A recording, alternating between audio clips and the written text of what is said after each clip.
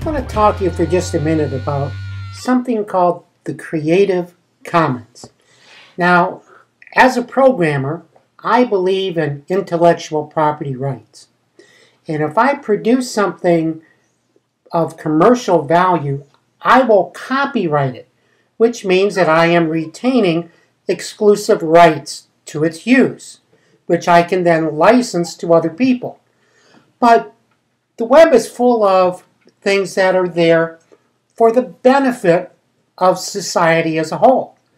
And that conflicts with this whole idea of intellectual property.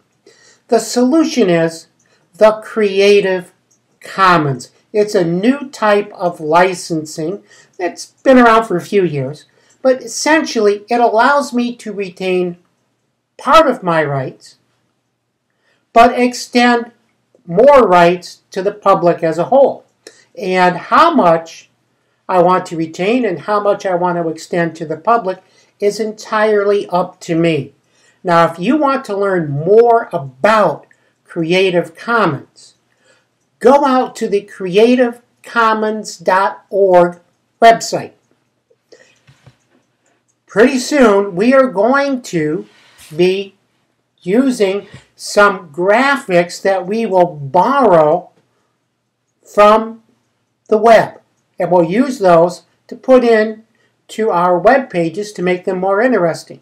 And what I want you to do is to use Creative Commons in your search arguments for these pictures. So, I'm going to give you an example. I'm going to search for Abraham Lincoln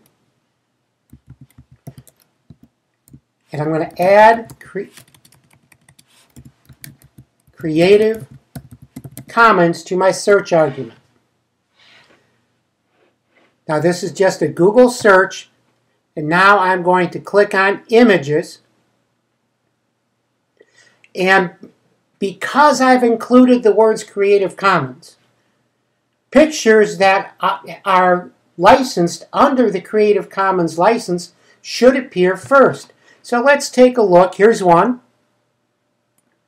Let's double, let's click on it to open it up. And there we go. Website for this image. I'm looking right in here.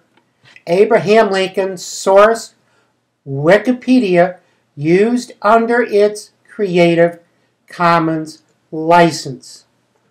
So that would be a good one to use. Now, don't worry too much. Let's say this was copywritten.